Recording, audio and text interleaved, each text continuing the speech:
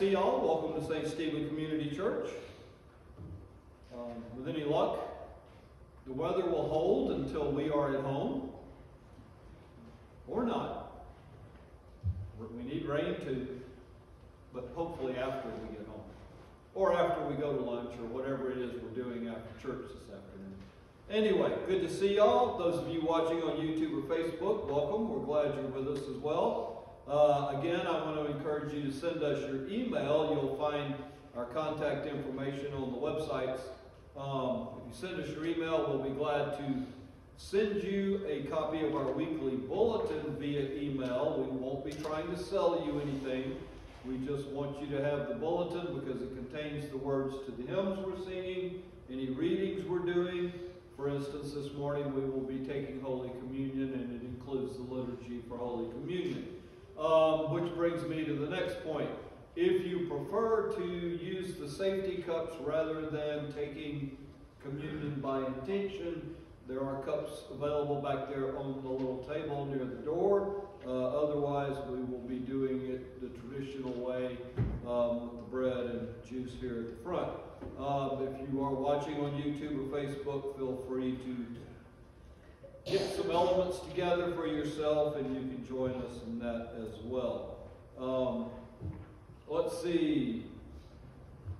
Those of you who wish to attend, there is an information meeting and worship session on February the 10th. This is coming Saturday between 10 a.m. and 3.30 p.m.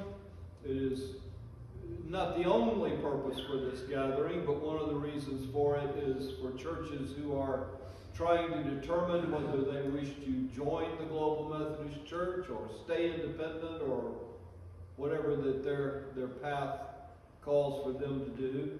Um, you do need to register if you're going to go, and the uh, uh, website where you can register, that link is provided in your bulletin. Um, we are also going to have an Ash Wednesday service, uh, February the 14th at 3.30. We will be gathering here to have an Ash Wednesday service and impose ashes.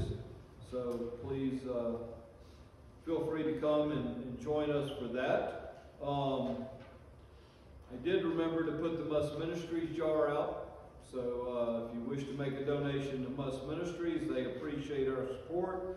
The money goes to help them feed the hungry and provide places for the homeless. And uh, it's a great, great place to uh, to give. Also, you can add it to your the designation line on your offering check, and we'll make sure that that gets to Must. Um, something new that we just started. Uh, and we're asking people to participate uh, as we move forward as a new church or a the same church under a new name, if you will. Uh, we've asked people to pray for the church for discernment to our courses in the future and uh, looking for opportunities to grow and spread the gospel. So if you got more people praying at the same time, your prayers are more powerful. So if we could have people praying at 8 in the morning, or at 8 in the evening, or at 8 in the morning and 8 in the evening, um, that would be absolutely wonderful. Um, and there's something reassuring about knowing that you are being joined by others when you pray. So um, we're asking people to join in that, that ministry. Um, I think that's all my announcements this morning. So we're going to move forward uh, with our first scripture reading. I'm sorry? Oh, I forgot them all. Pastor Greg has a birthday this week.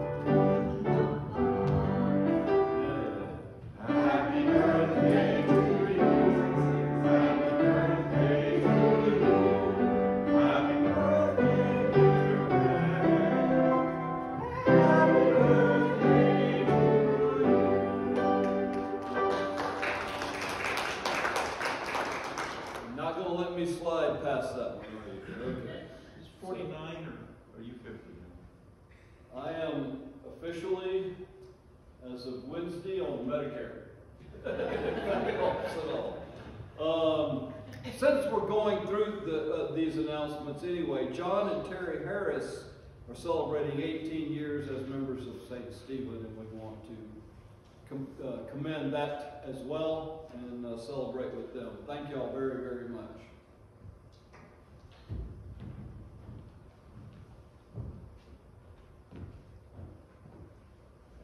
Our scripture reading is Psalms 147, verses 1 through 11, and verse 20. Praise the Lord! How good it is to sing praises to our God, for he is gracious, and a song of praise is fitting. The Lord builds up Jerusalem. He gathers the outcast of Israel. He heals the brokenhearted and binds up their wounds. He determines the number of stars. He gives to all of them their names. Great is our Lord and abundant in power. His understanding is beyond measure. The Lord lifts up the downtrodden. He casts the wicked to the ground. Sing to the Lord with thanksgiving. Make melody to our God on the lyre. He covers the heavens with clouds, prepares rain for the earth, makes grass grow on the hills. He gives to the animals their food, and to the young ravens when they cry. His delight is not in the strength of the horse, nor is his pleasure in the speed of a runner. But the Lord takes pleasure in those who fear him, in those who hope in his steadfast love. He has not done this with all other nations. They do not know his laws. Praise the Lord. The Word of God for the people of God. Thanks be to God.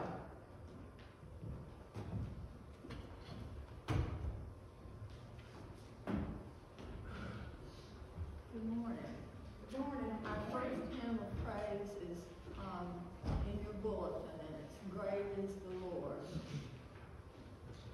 Praise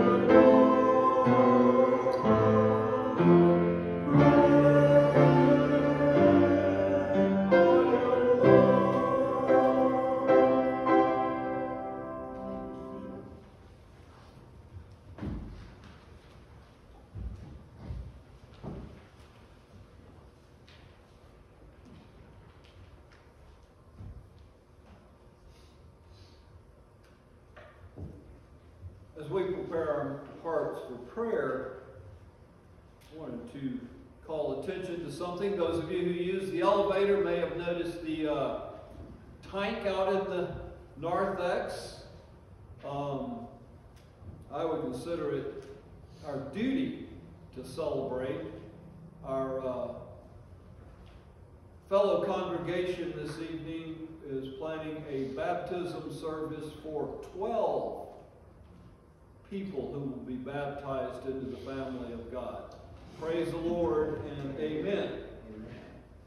Um, proud of them and, and the way that they have been growing. Um, under prayer requests, we have one that we want to add. I know of. Cindy Clegg has kidney stones. We want to pray for Cindy. Um, that, situation may be resolved with as little discomfort as possible. Um, and before I move on, does anybody else have a prayer request they want to add? Okay. Um, we want to pray for Susan Corbett. And uh,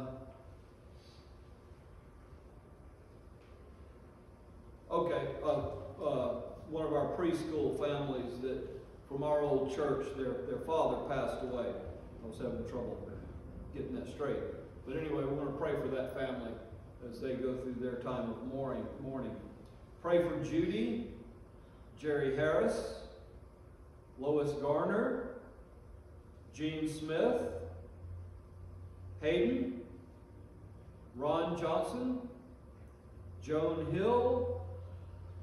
We want to continue praying for Alton Waits, Anne Marie and Dave, Amanda Schmidt, Bobby, Carol Fuller, Camilla Munez, Caroline, Elizabeth Fagan, Faye New, Gene Smith, Graham Sykes, Jack Lamberson, Gene Kibler, Logan Smith, Margaret Hughes, Marguerite Kaler, Margaret Danny Simpson, Marlo Keith, Martha Childers, Phyllis McLean, Ray Tucker, Sandy, Sarah Polk, Victor Blackstone, Wendy Tedder, Willie Neal Kane.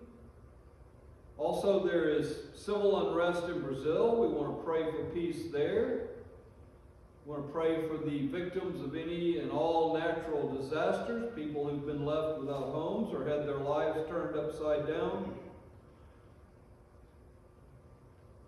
We've been praying for the people of Israel and in the Middle East and, and the war in Ukraine and violence seems to be on the uptick around the world, especially in the Middle East area. So please remember them in your prayers and we want to pray for all of those who may have had their lives disrupted or their loved ones taken from them because of these wars.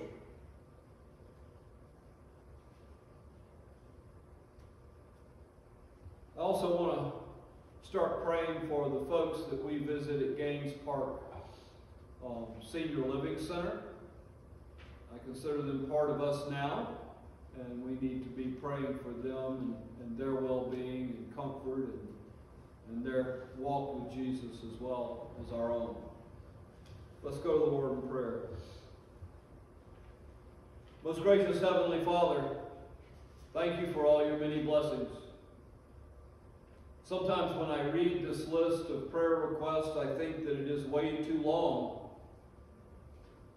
But in reality, we could read the names and see the faces and recall the needs for prayer. The list would never end. We ask you to bring peace and comfort to all of those we've named. Bring healing to those who are suffering with illness and injury. Bring wisdom to those who lead and who make decisions on our behalf.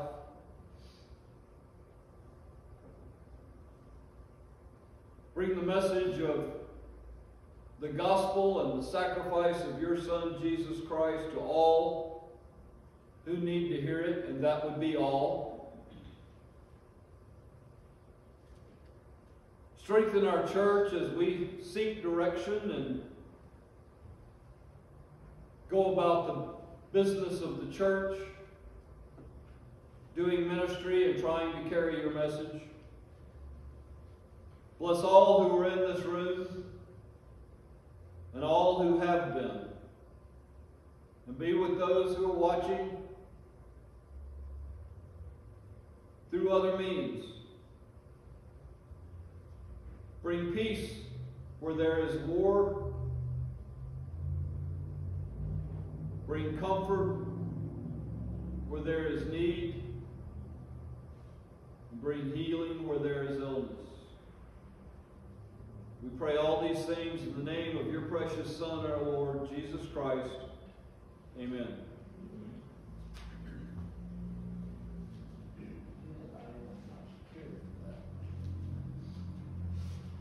Join me as we read our statement of faith. You will find the Apostles' Creed in your bulletin.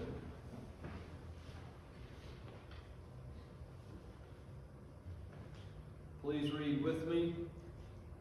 I believe in God the Father Almighty, the maker of heaven and earth, and in Jesus Christ, his only Son, our Lord, who was conceived by the Holy Spirit, born of the Virgin Mary, suffered under Pontius Pilate, was crucified, dead, and buried.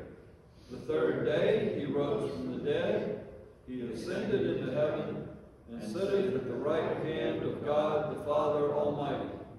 From thence he shall come to judge the quick and the dead. I believe in the Holy Spirit, the holy Catholic Church, the communion of saints, the forgiveness of sins, the resurrection of the body, and the life everlasting. Amen.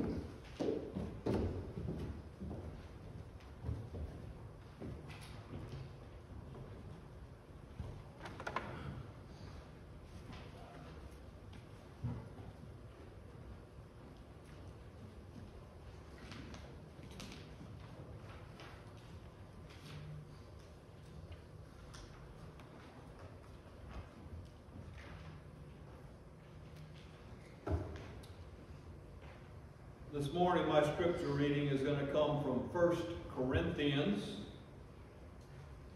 chapter 9, verses 16 through 23. That's 1 Corinthians 9, 16 through 23. If I proclaim the gospel, this gives me no ground for boasting. For an obligation is laid on me, and woe betide me if I do not proclaim the gospel. For if I do this of my own will, I have a reward. But if not of my own will, I am entrusted with a commission. What then is my reward? Just this, that in my proclamation I may make the gospel free of charge so as not to make full use of my rights in the gospel. For though I am free with respect to all, I have made myself a slave to all, so that I might win more of them. To the Jews I became as a Jew in order to win Jews. To those under the law I became as one under the law, though I myself am not under the law, so that I might win those under the law. To those outside the law I became as one outside the law. Though I'm not free from God's law, but am under Christ's law so that I might win those outside the law. To the weak I became weak, so that I might win the weak. I have become all things to all people, so that I might by any means save some. I do it all for the sake of the gospel, so that I may share in its blessings. Word of God for the people of God.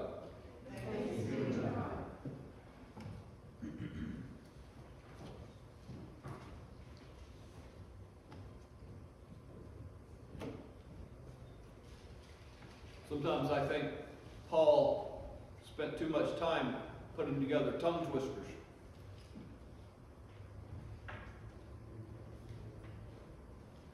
Sometimes it is remarkable just how easy it is to overlook God's message or to miss the urgings of the Holy Spirit.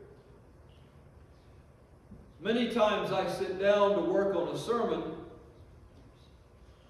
and I have no idea where it's going until it gets there. This week, I was fretting over what God's message was for me and for us in this scripture. And I was getting no inspiration at all. As late as 6 o'clock last night, I had no idea what I was going to be preaching about this morning.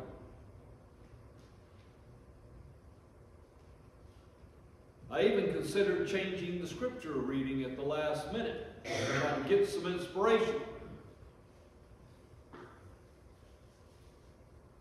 Of course, as God would have it, the answer was right in front of me. Or, to be more accurate, the answer had been preparing itself for me for weeks, for months, for years. I know that sounds dramatic. This isn't going to be the great sermon that that might make it sound like it's going to be.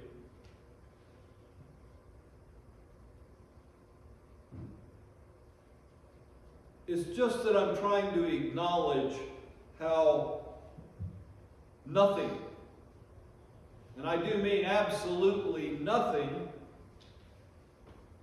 happens in God's world by accident.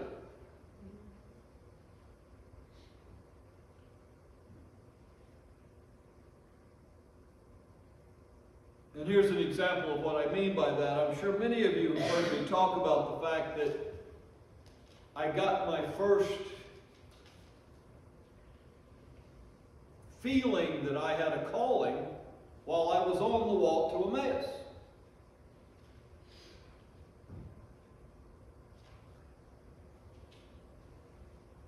That was combined with getting close to the end of the first year of taking disciple Bible study. And between those two events, I found myself in the process of discernment all over my calling. I, there was no doubt in my mind God had a job for me to do, but what was it? Pastoring is just one of many things that God can call us to do. So, from the weekend of Walk 160 to my very first day at St. Stephen, almost five years went by.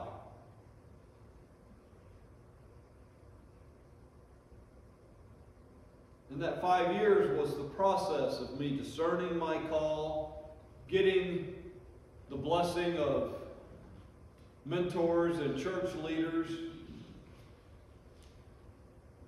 researching it and talking about it to make sure it was the right thing, and then getting a little bit of education so I can do it. And what has all of that got to do with this sermon?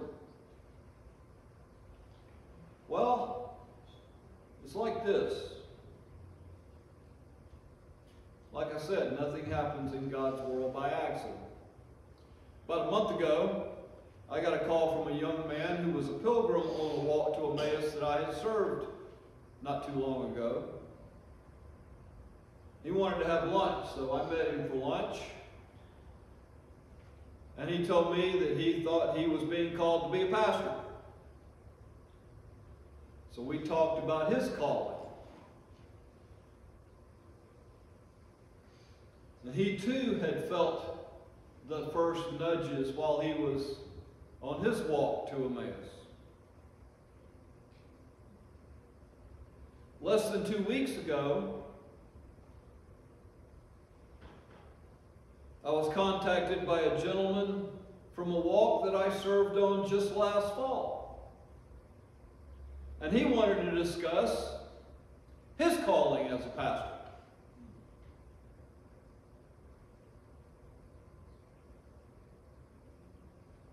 So he and I had a talk last week, and I'm putting together some material for him.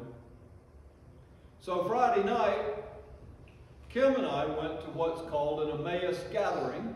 Those of you who've been involved in Walk to Emmaus know what that is, probably. And it was just a, a gathering of the Emmaus community and a time to worship and celebrate.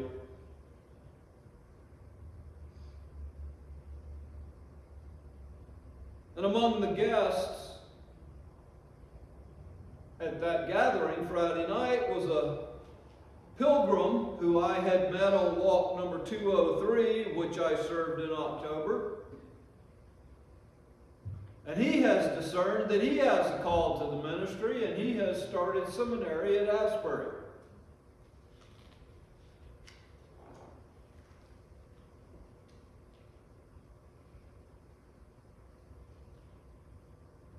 So this morning I'm preaching on a scripture where Paul describes his calling to preach. Like I said, nothing happens in God's world by accident. And like one of Kim and I's favorite TV characters, I don't believe in coincidence.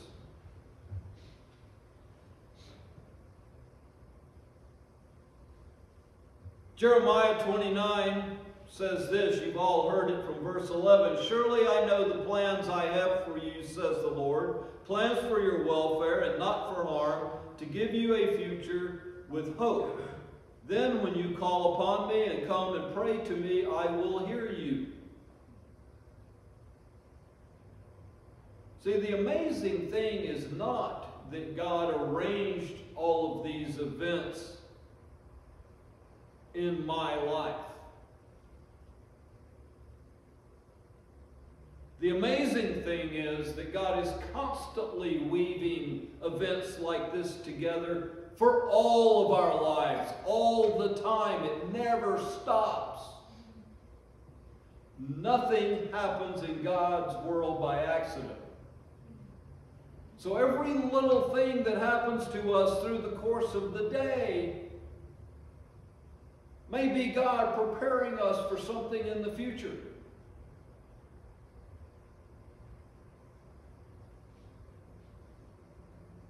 And of course, the, the variable is are we paying attention?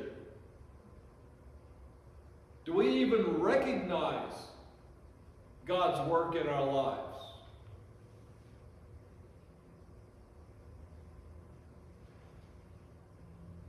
Millions and billions of events and encounters and meetings and situations are planned and devised to allow each of us to recognize and do His will for us, whatever that is.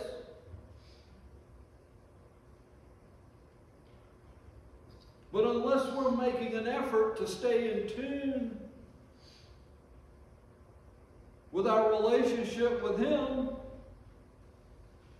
we don't even notice most of these miracles. It's just little things that happen through our day. Some of them may not be happy events. Some of them may be quite annoying. We don't see them as blessings when they happen. But the truth is, we don't know. I mean, it would be like, uh, I'm sure at least one or two of you ladies have knitted something in your life where you had the needles and the ball of yarn and you're knitting it together until it becomes a scarf or a hat or a shawl or something.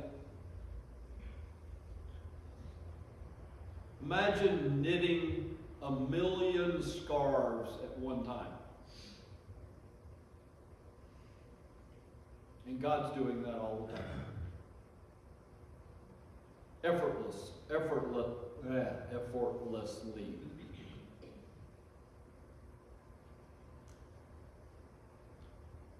Do not believe for a second that God only does these things for a select few. That there's something special about a handful of people where God plans their lives and builds these events together, but it's just for them. Every single one of us has our place in God's will. Every single one of us has our spiritual gifts. Every single one of us is called to ministry in some way. Not all the same way. If we were all called to preach, who would be sitting in the pews listening? You know, if we were all called to lead the choir, where would the choir come from? You know, if we were all called to be the church secretary, Where would the business for the secretary to do come from? We're all different. Not everybody is made to get up and preach. But everybody has a job to do that helps in the spreading of the gospel of the kingdom of Jesus Christ. Everybody. And every event in our lives prepares us for some future opportunity to contribute to the kingdom.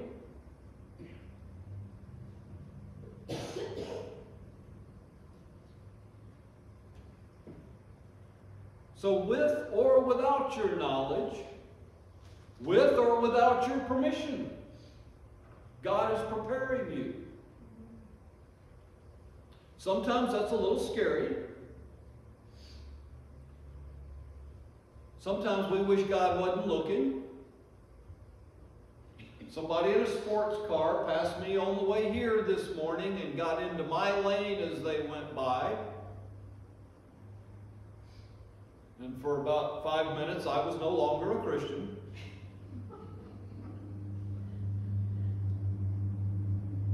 That's okay. Just proves that I need to learn a little more patience and tolerance. You don't have to amen that, Kim.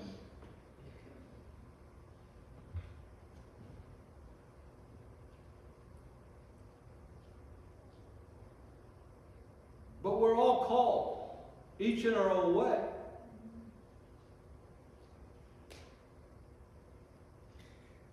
God is leading you to where He needs you to be, not necessarily where you want to be or where you think you should be. Or, like they used to tell me when I first started getting sober, your best thinking got you here. That was not a compliment. So let's look at what God is doing with Paul in this scripture for a minute. The Apostle Paul says, If I proclaim the gospel, this gives me no ground for boasting. For an obligation is laid on me, and woe betide me if I do not proclaim the gospel. See, Paul realizes that he has to preach. God didn't ask him, did he want to preach? He didn't even want to tolerate Christians. He wanted to kill them all. That's what he wanted. God didn't ask his opinion. God told him he was going to preach. Period.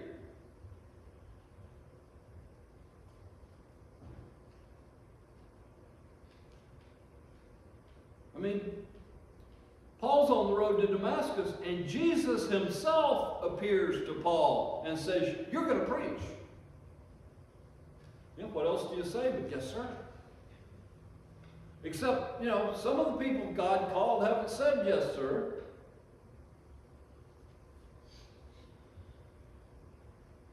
But when Christ calls you, you know you've been called whether you want to cooperate or not. And many of us have tried to run from God.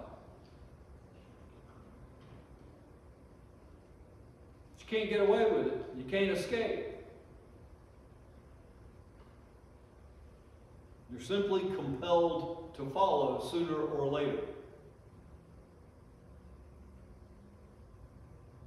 You may resist, as many of us do, but resistance is futile, as uh, you may have heard it said, and you may not have.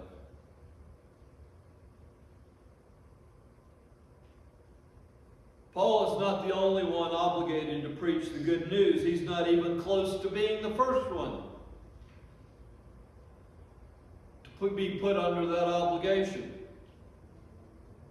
Moses did everything he could to escape his call when he was called to deliver the Hebrews.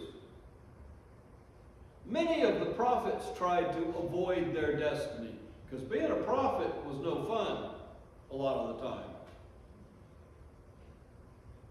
Jonah ran from God as if he could hide. He went so far as to have himself thrown overboard from a ship during a storm, trying to get away from God.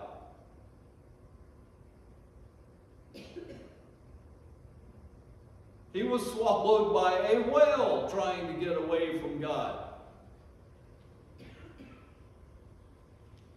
All of this in his desire to evade God's call to preach to the people in Nineveh.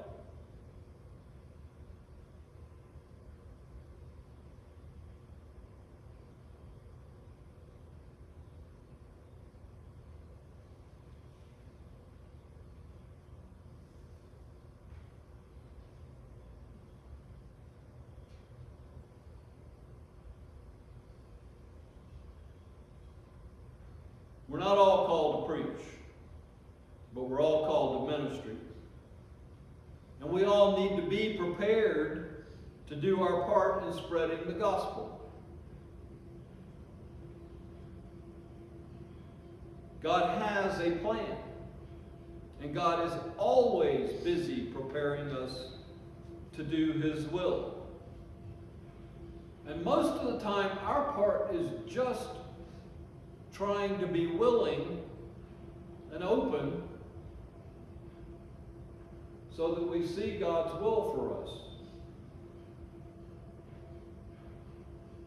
You know, I have no idea what the future is for any one of the three guys who talked to me about becoming a pastor.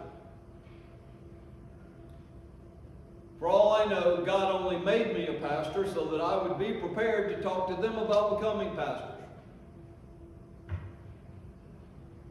Not up to me. We just need to be willing. The second point about this sermon is contained in verses 19 and 23. I want to take a look at that for a moment. But first, I want to look at some examples. In Genesis 12:1, the Lord said to Abram, Go from your country and your kindred and your father's house to the land that I will show you. God came to Abram because Abram came from a land of pagan worship. Abram wasn't out there looking for God. God came to Abram. In Exodus chapter 3, verse 2, it says, There the angel of the Lord appeared to him in a flame of fire out of a bush. He looked, and the bush was blazing, yet it was not consumed. Then Moses said, I must turn aside and look at this great sight and see why the bush is not burned up. When the Lord saw he had turned aside to see, God called out of the bush, Moses, Moses. And he said, Here I am. Now, Moses, at this point in his life, is a disgraced prince, escaped from Egypt, hanging out in hiding in Midian. But God came to him.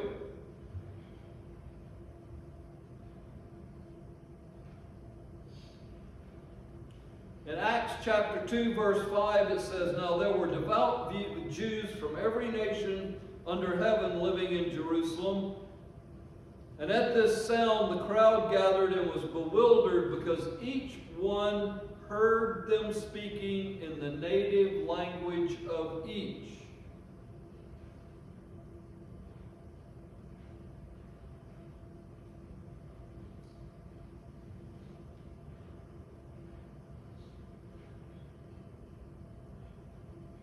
The Holy Spirit spoke in a way that each person understood. They didn't have to change to hear what was being said. And here's the ringer, John 3:16. You know this. For God so loved the world that he gave his only son so that everyone who believes in him may not perish but may have eternal life.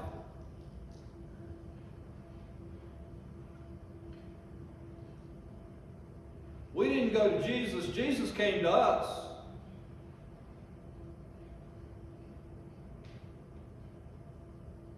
No matter what we look like, no matter what kind of life we're living, no matter what our beliefs are, God comes to us. God seeks us out, no matter where we are, no matter how we are, no matter who we are. On Pentecost, there were people from many nations speaking many different languages. A lot of the people in Jerusalem that day were not Jews. They weren't there to celebrate Pentecost, they were there to sell their goods. They were traders, they were merchants. They were just taking advantage of the huge crowd that had gathered for Pentecost. And yet each one heard the disciples speak in their own language. God wanted everybody there to witness the power of the Holy Spirit in the disciples. God wanted all of them to hear the good news.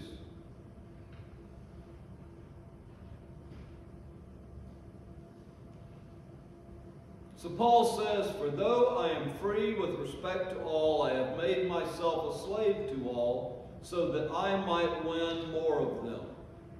To the Jews I became as a Jew in order to win Jews. For to those under the law I became as one under the law, so that I might win those under the law. To those outside the law I became as one outside the law, so that I might win those outside the law. To the weak I became weak, so that I might win the weak.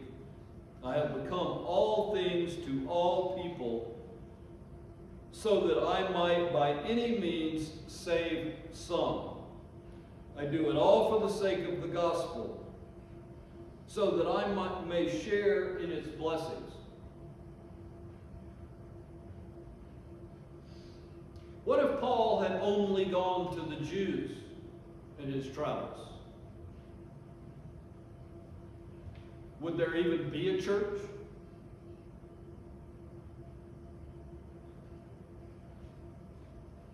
See, this is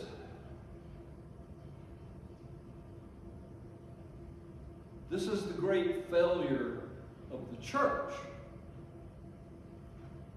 For hundreds, if not thousands of years, we have sat in the pews waiting for the sinners to come to us.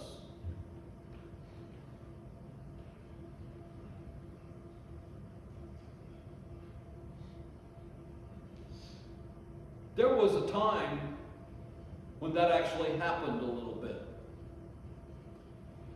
I got news for you. Today, the sinners ain't coming. They're laughing at us. And they won't hear the gospel if we wait for them to come to us. I mean, I preach the gospel, but if I only preach it on Sunday morning in this room, 99.9999999% of the time, I'm preaching to people who already know the gospel of Jesus Christ.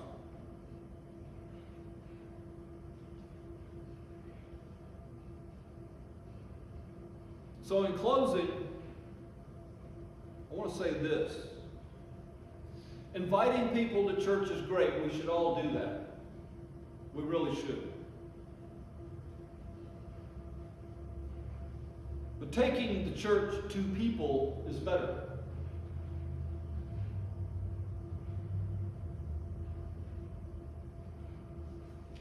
And we don't have to be all things to all people. I'm not going to become homeless so that I can carry the gospel to the homeless.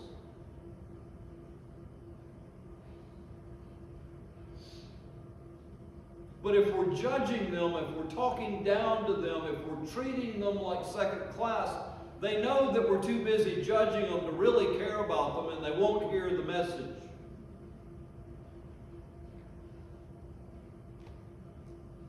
You don't have to be an alcoholic or a drug addict in order to spread the gospel to alcoholics and drug addicts.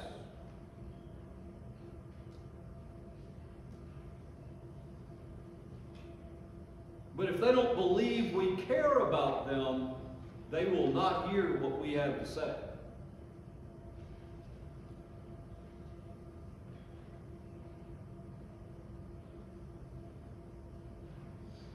Are we waiting for God to send us people to witness to?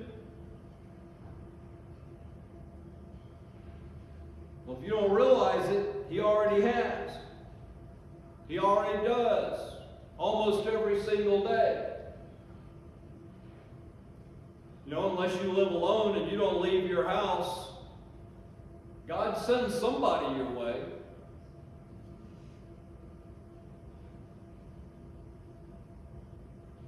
He's already sending people for us to spread the gospel to.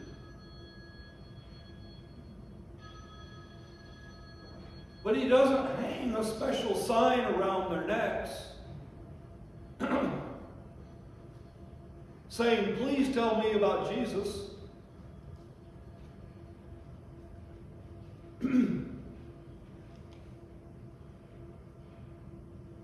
we don't see them because we're not willing to see them. It's uncomfortable.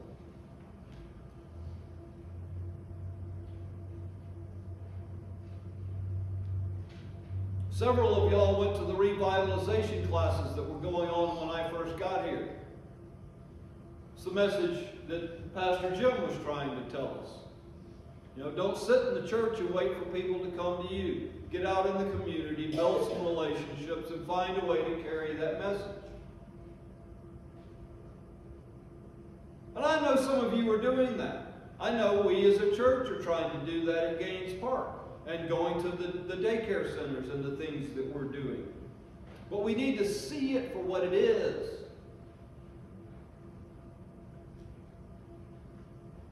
I'm sure at least some of y'all have heard of the Fresh Expressions movement.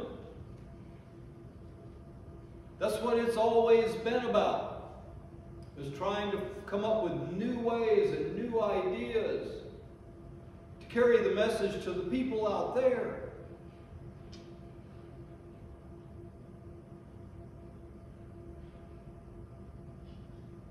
But the moment that people think we're talking down to them, that we're judging them,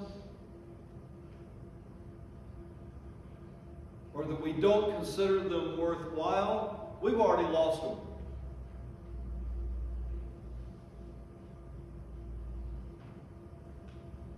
I mean, put yourself in their shoes. Who do you respond to most easily?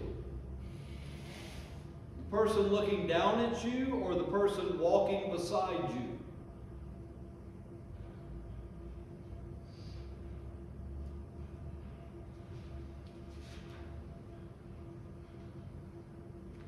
Jesus said, For I was hungry and you gave me food. I was thirsty and you gave me something to drink. I was a stranger and you welcomed me. I was naked and you gave me clothing. I was sick and you took care of me. I was in prison and you visited me. We can't wait for them to come to us, folks. And we are doing some outreach ministry as a church. But we also need to be doing it every day in our everyday lives. God is sending people our way. It's a fact. Just like God prepared me to talk to these men about becoming pastors, He's preparing all of us in one way or another to do our part, whatever that is. We just have to be willing to hear what He has to say and to see what He's trying to show us. Amen? Amen. All right, we're going to move on into our liturgy for Holy Communion.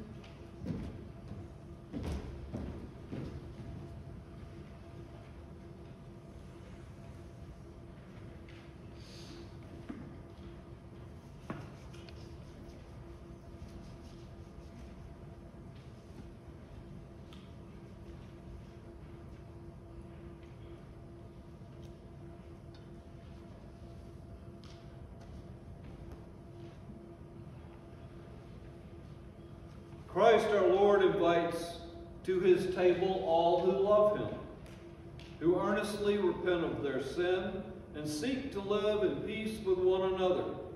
Therefore, let us confess our sin before God and one another. Merciful God, we confess that we have not loved you with our whole heart. We have failed to be an obedient church. We have not done your will. We have broken your law. We have rebelled against your love. We have not loved our neighbors, and we have not heard the cry of the needy. Forgive us, we pray, free us for joyful obedience through Jesus Christ our Lord. Amen. Hear the good news. Christ died for us while we were yet sinners. That proves God's love toward us. In the name of Jesus Christ, you are forgiven. In the name of Jesus Christ, you are forgiven. Glory to God. Amen. So let us offer one another signs of reconciliation and love. As forgiven and reconciled people, let us offer ourselves and our gifts to God.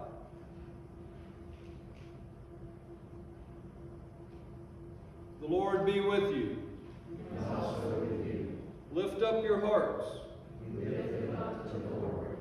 Let us give thanks to the Lord our God. It is right to give our thanks and praise.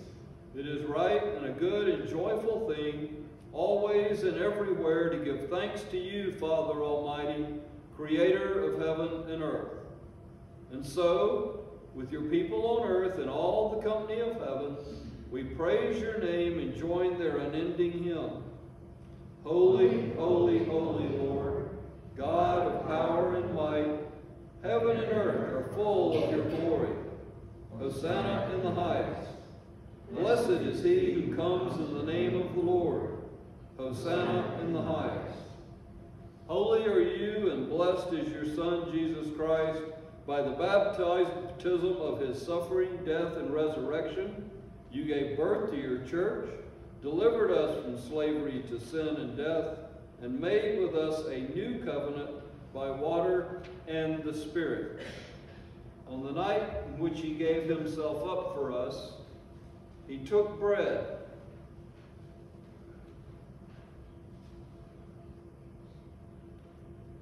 He gave thanks to you. He broke the bread. He gave it to his disciples and said, Take, eat. This is my body, which is given for you. Do this in remembrance of me. When the supper was over, he took the cup.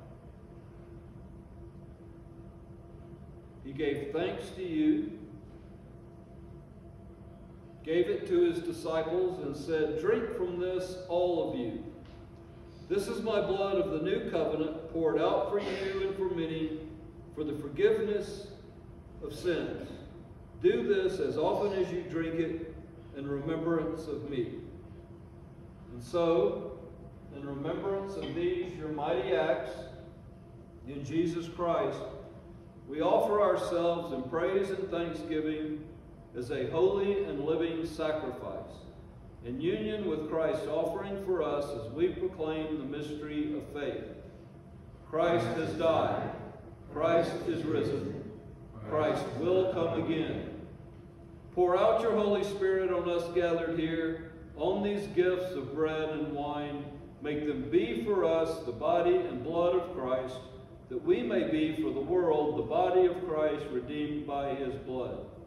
For your Spirit, make us one with Christ, one with each other, and one in ministry to all the world, until Christ comes in final victory and we feast at his heavenly banquet.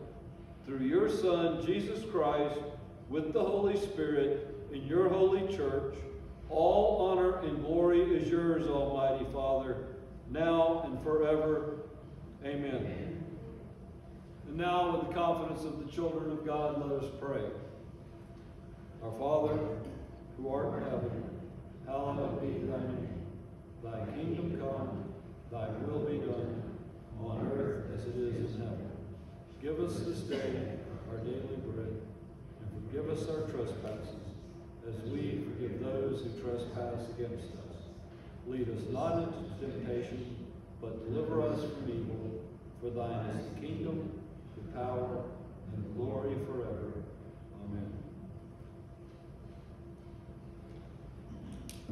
Amen.